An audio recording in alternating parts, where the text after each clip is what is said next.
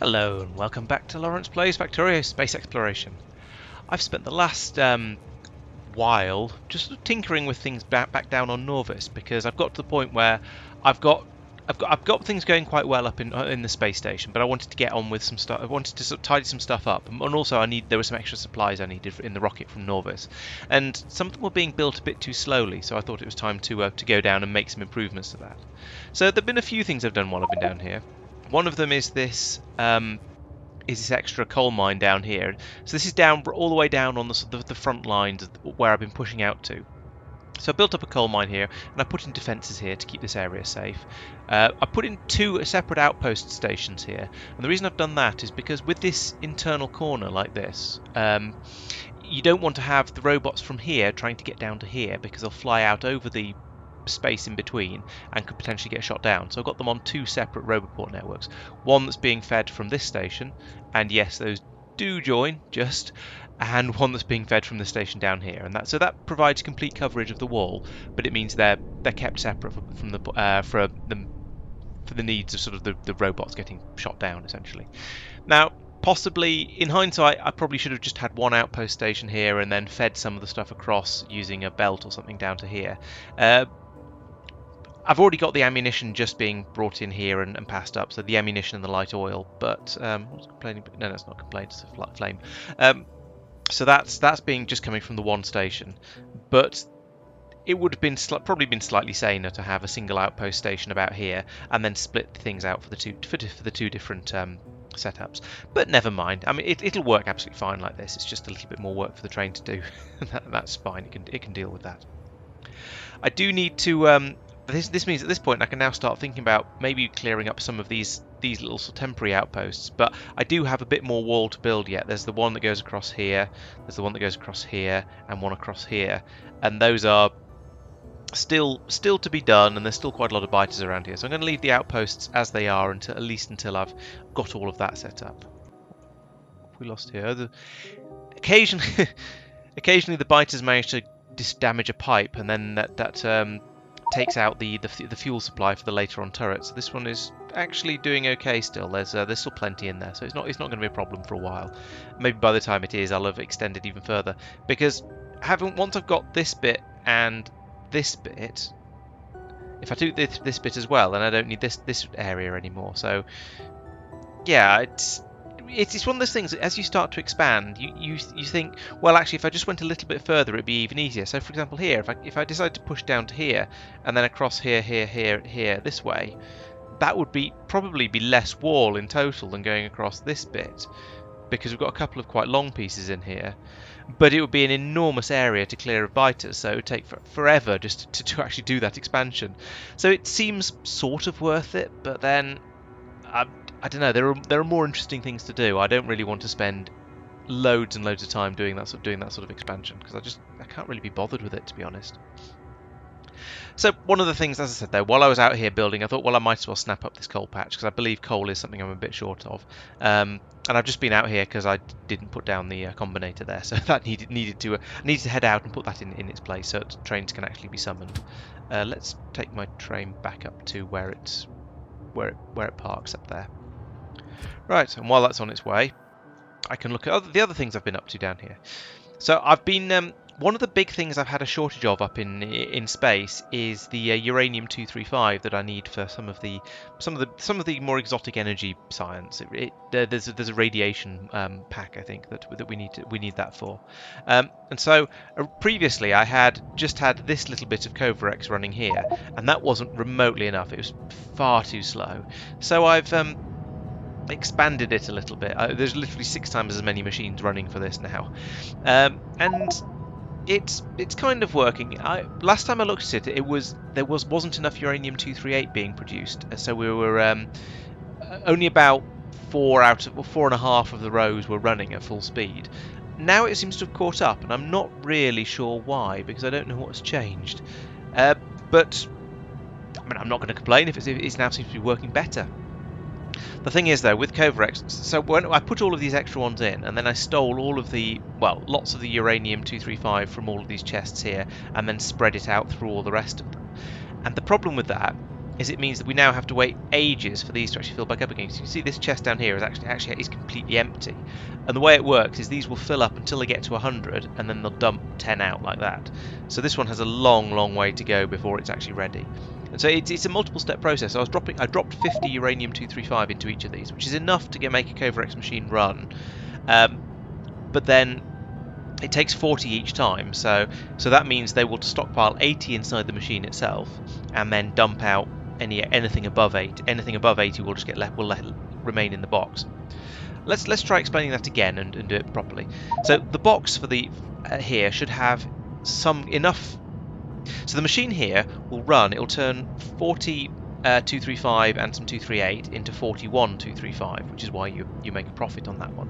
And it then dumps it all out onto this piece, little piece of belt here, and it go, then goes into this box, which then passes it round. So the 235 then gets put back into the machine, so it can all, it can all run again.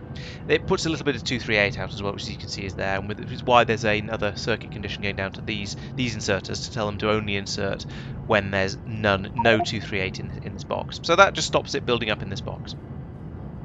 So that'll pass it around and around and around, and eventually you get you get to the point where you're you've got 80 in here already, and there's still one left in here, and so you and that one won't therefore won't be loaded in because you've already got eight, 40 that are being used and 80 that are the next two cycles for that for that machine.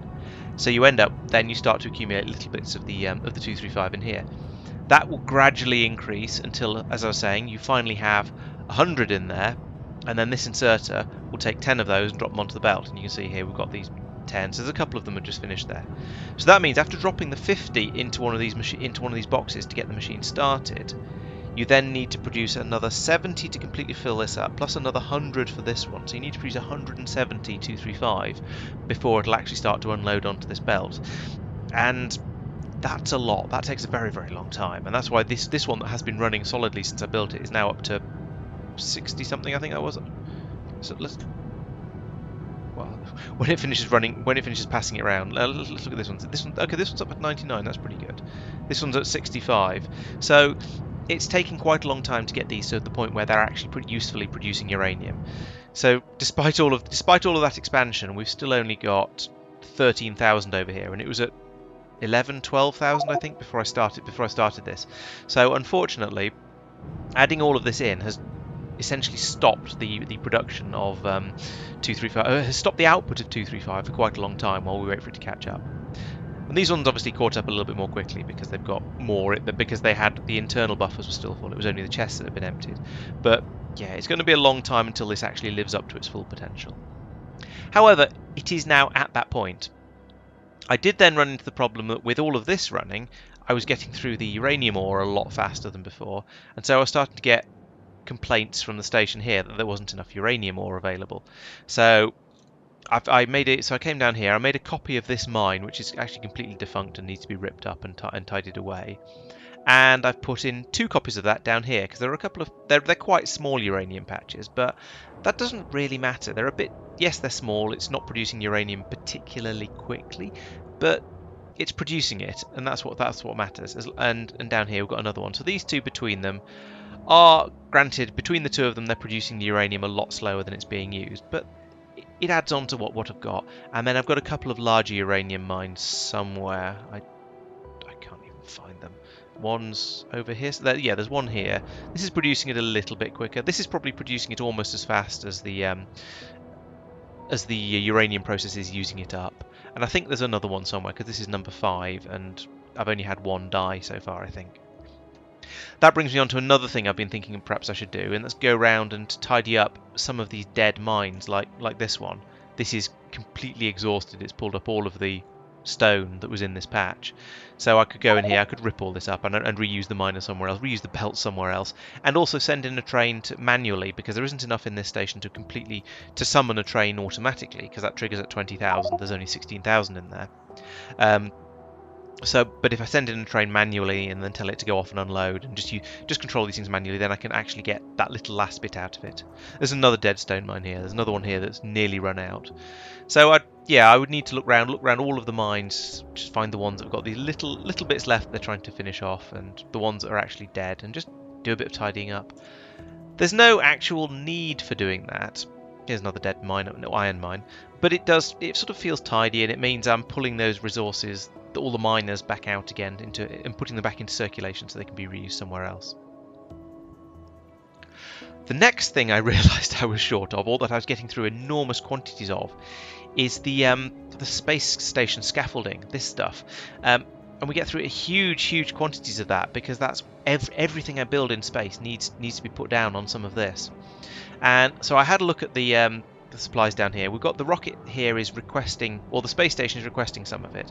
There's 5.1 thousand less in the rocket than it's requesting, so we've got a lot of this to come in.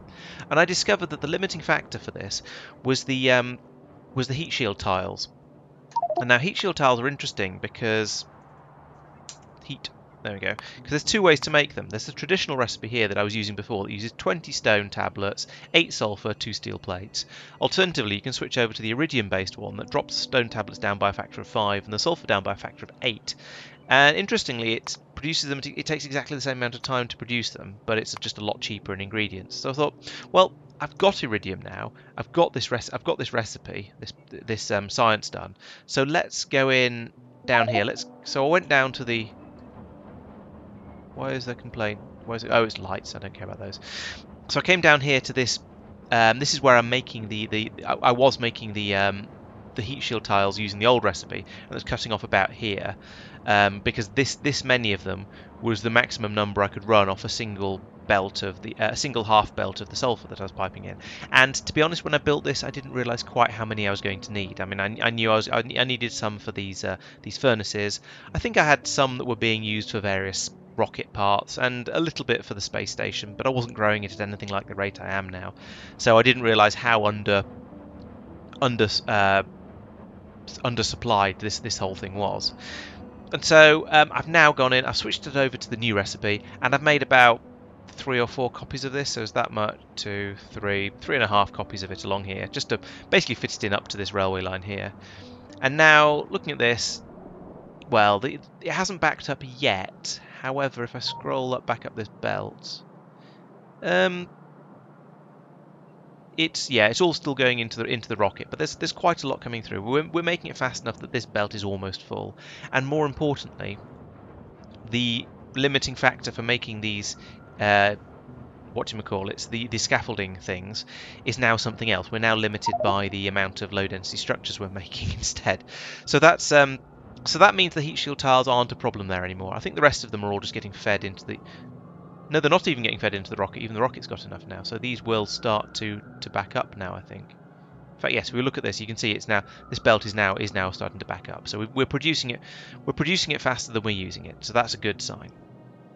Low density structures, not so much. Uh, where are we making those? Here we go. There's a massive facility here making them. Um, and it seems to be essentially maxed out. It's what's the limit? The limiting factor here is the amount of plastic that's coming in. Okay. However, what what what I am aware of since I built this, I've also now built up a, a, a, system down here that's making low density structures, and this is completely backed up, and this is making them in a significantly more efficient way as well. So, the obvious answer to this is to squeeze in um, an extra station in here somewhere that's going to drop down some more low density structures. Where, where are they first needed? This is an important question. Going up here. Okay, so the first needed for these science packs here, the yellow science. So I need to get them in here or lower. So if I put in if I put in a station on top of this one, I can then rip up all of this, get rid of it completely. I don't need this anymore, and bring it all in by train. So I'm going to do that now. Um, I, often, I, I, sometimes get requests on my on my videos to uh, to actually show, show, my working a little bit and and, and include bits of me actually building things. So I'm going to do that. Uh, so I'm going to put this in here. Now one of the things I've learned is it's very important to remove at least something on your um, on your to stop the combinator immediately being linked up to the station because if I did that if I just left that as it was I would suddenly get an unexpected supply of iron in here um, that is going to have to be moved to there, should we say? Yeah, so if I just left this as it was, I would have got a train full of iron appearing here, and that would have been a bit of a problem because I don't I don't want iron here.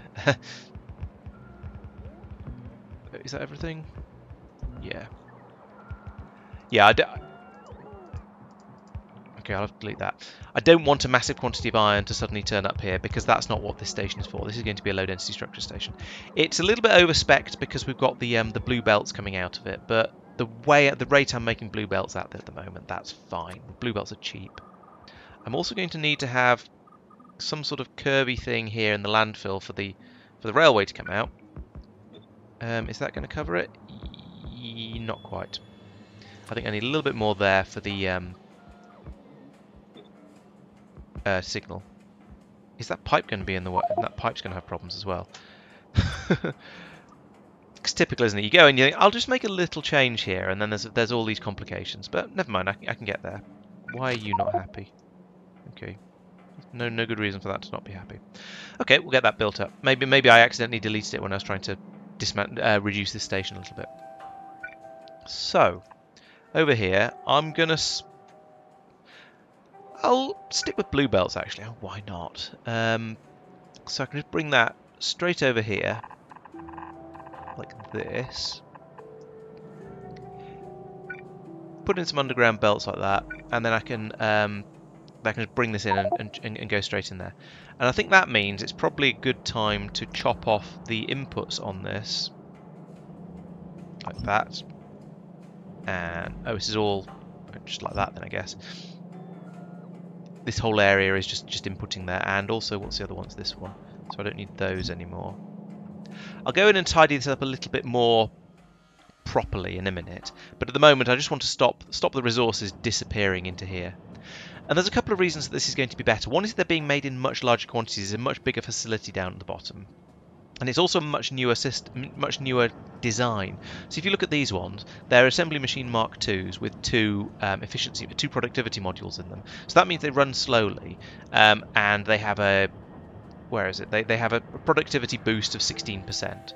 Whereas, oops, did the wrong thing.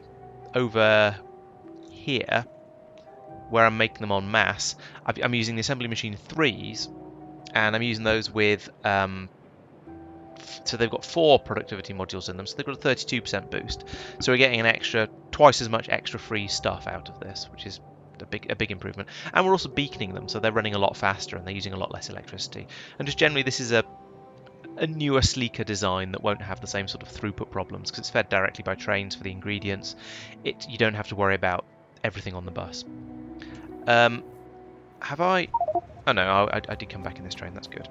So now I'm I'm over here myself. I can start doing the sort of the the tweaky tweaky tidy uppy bits that are difficult to do remotely. Oh, actually that does fit. I didn't need to put that extra landfill in. Never mind.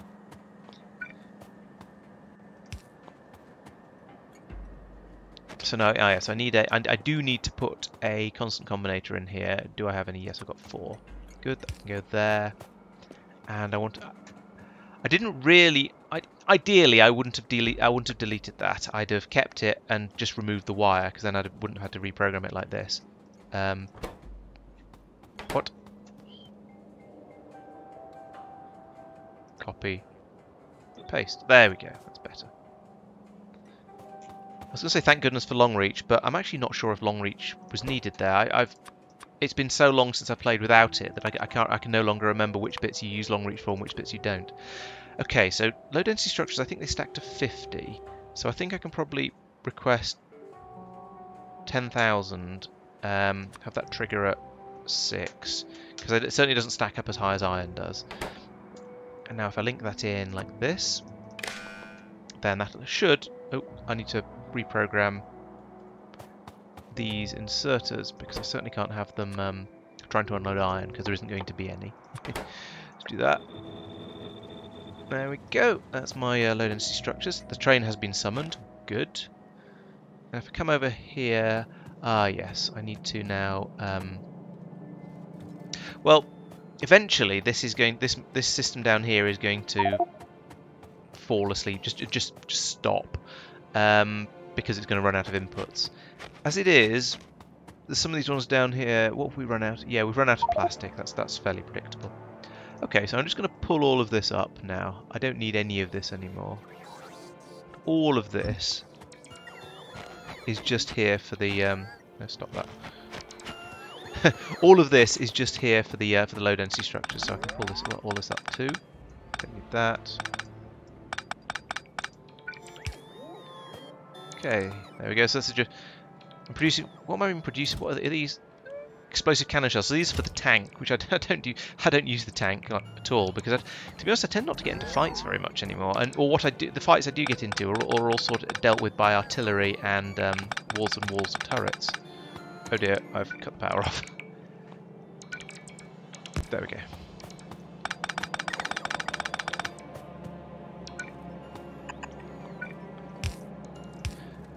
Yeah, having the, the blue belt coming in... Oh, I don't know what I was going to do. I was going to upgrade all of this to blue, because that means I then get... There's a splitter up here where it goes off to the other... goes off onto the bus. Now, this is a bit unnecessary, actually, because now, now I look at this, there's only half a belt there. But um, this mean, with this with it set up like this, that means I've always got the full amount to get available to go this way and this way. I don't need to worry about throughput anywhere along there. Um, but until then, it can come through at just yellow belt speeds. So there we go. Now we've got it coming through, and this this the bus will now always be absolutely full of um, of low density structures because I've got, in theory at least, I've got them being produced because they're being produced in such large quantities down there on that other station. I shouldn't have any problems ever again with that monitor this going up here, but I'll uh, I'll fast forward that. I'll fast forward through that a little bit, so um, so you don't have to watch it going up at um, at yellow belt speed. I do sometimes wonder if I should go through my entire bus and upgrade the entire thing to uh, to blue belts, just so it's got more throughput, just more just more bus. Well, I have to admit that took a bit longer than I was expecting, but they've got here now, and they're all being grabbed up by the um, scaffolding machines now, so we'll that should all start running, and we should get. Hopefully, that they're, that they've now run out of things that we can be it can be limited by. So let's have a let's fly up there myself. I can do that much more quickly than uh, watching the belt go. I like this jetpack thing. It's one, one of the most useful parts of the mod, perhaps. And yeah, as you can see here, we've got yeah the the recipe only takes one of each of the things. Um, I could I could module this up, get more, uh, get it gets to be a bit more efficient, but I don't, I don't know. At the moment, it's running. If I did, if I did put the um, productivity modules in, I'd want to put in an enormous number more machines so that I didn't lose, so to, to compensate for the uh, the speed decrease. Um, but as it is, I think the ingredients are probably cheap enough that I'm not going to worry about it too much. I'll just let that let that run through now.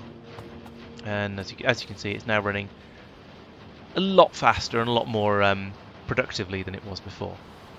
So, good. Um, and looking at it, I, I, actually could add in a lot more machines to get even more of it out. Uh, maybe I'll maybe I'll add that in as well. Okay, so that's sort of most of the. I think I think that's that's pretty much everything I've been up to for, um, recently. Uh, I'm gonna so I'm gonna pretty much call that an episode here. Uh, in the next episode, I should be heading back up into space and, and, and messing around with some of the science up there and trying to make some um, trying to make science, I'm trying to make it faster, trying to make it bigger, better, and deeper. Uh, yeah, just generally get everything um, improved. As it is, there's quite a lot of stuff that I've been running out, running short of um, while I've been up there, and there's th things like the pipes I've been getting through a lot of, the uh, the scaffolding and so on. And so I'm just making sure that this is getting all restocked by this rocket. And how much is in the rocket now? Actually, that rocket is getting close enough to full that I wouldn't feel bad about going up it. So that's been um, it's been a fairly productive time. Being the uranium, the improvements to well now to the uh, the low density structures on the in, um, on on the bus and the the heat shield tiles wherever they were down here somewhere. And yeah, I think that's going all going quite well. So until the next episode, uh, thank you for watching. I'll see you later.